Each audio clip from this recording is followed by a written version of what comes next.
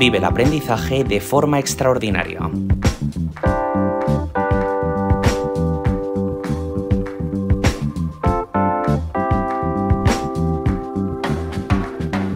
Hola, bienvenido a este podcast. Somos el equipo de los cursos extraordinarios de la Universidad de Zaragoza y venimos a presentarte algo que puede interesarte. Coge algo donde apuntar porque allá vamos.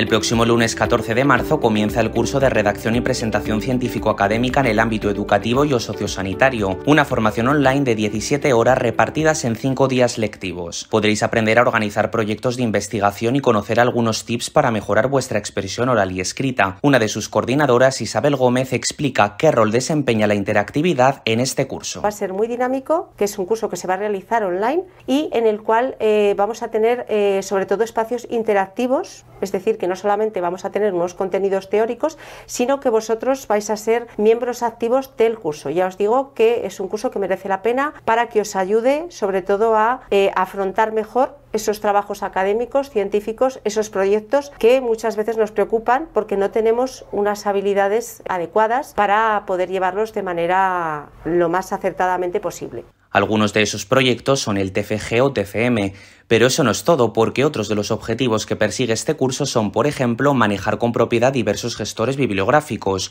identificar los principios básicos de la propiedad intelectual o saber cómo afrontar una exposición oral. Por último, cabe destacar que no solo ganarás una grata experiencia de aprendizaje, sino que también podréis tener un reconocimiento de 0,5 créditos ECTS. Todos son ventajas. Y hasta aquí llega nuestro podcast informativo. Esperamos que os haya servido de ayuda. Ya sabéis que toda la información sobre los cursos que ofertamos se encuentra en nuestra página web y redes sociales. Nos escuchamos pronto.